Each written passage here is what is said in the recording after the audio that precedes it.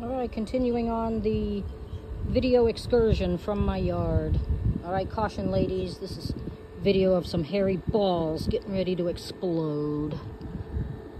Look at this variety of milkweed. Chinese lanterns, I think they call it, but it's variety Oscar milkweed. the flowers are so pretty. Yep. I don't know, when that milkweed pops open, it's gonna spew those seeds everywhere. All right, Oscar Hairy Balls milkweed, and then we have the tropical milkweed.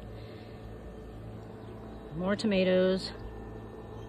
And then if you could see the uh, the planter closest to the patio there, the cream, the, the large cream, cream color one, we have about five other varieties of milkweeds for the monarch butterflies.